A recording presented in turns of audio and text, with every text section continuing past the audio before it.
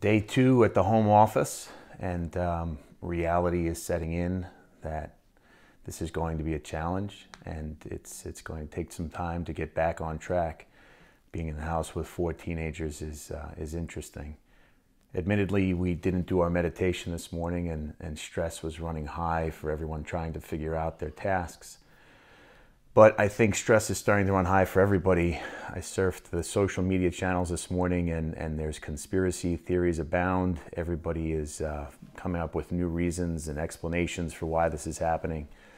Let's keep it simple. It's happening because Mother Nature operates in ways that are sometimes mysterious to all of us, and this virus is going to spread, uh, and we are just trying to slow it down. And um, Right now, if you're hearing that there are about a thousand cases in New York and 10 to 12 deaths, it may not seem staggering. And um, while that's true, and we're very happy about that current level, we also know that things can change quickly and that this is going to take some time to filter through the population in a way that's controllable and that won't overwhelm our system. So stay the course and uh, don't get caught up in the hype.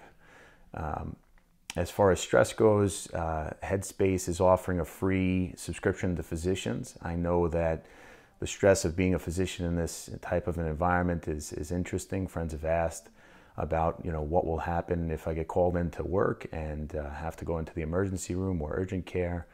Um, we'll do it. We'll, we'll, deal with it, and um, we're, we're, trained for this, and um, and we're going to take care of people who need to be taken care of.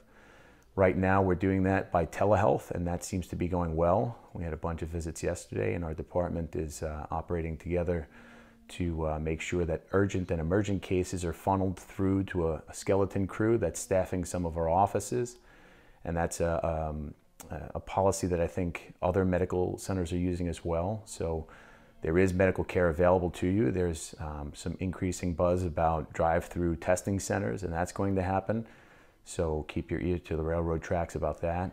Uh, as far as exercise, uh, an area that I, I, like to talk about, the sun is shining here in New York. It's beautiful. I haven't been outside yet, but given the level of stress in this house, I think that after this, we're going to go for a little run and uh, maybe do some light exercise. The question as to whether it's safe to go outside uh, brings to light the fact that there are some extremes that are happening here. People who think that nothing needs to be done and we don't have to take any precautions and others who think that we need to be wearing hazmat suits and, and lock ourselves in the closet. Um, the truth is always somewhere in the middle. So uh, you can go for a run, you can go for a bike, you can do things outdoors. Be careful. Now's not a great time to be in the hospital with a trauma and uh, have to deal with that. But uh, you know that's why our orthopedic surgeons are, and, and, myself in sports medicine are available. But let's try not to, to do things that are too risky. Let's exercise in a, in a light, controlled way uh, and social distancing rules in place. You know, and uh, if you have to go to work and, and you have to serve the community in some capacity, keep food on the shelves, make sure you wash your hands, don't touch your face, practice social distancing, um, distancing, uh, touch elbows as uh, you see the president doing in his press conferences, and uh, stay healthy, be well. If you have any questions or, or, things you'd like me to, to bring up in these posts, please, uh, please um, reach out post a comment below, and I look forward to seeing you all soon.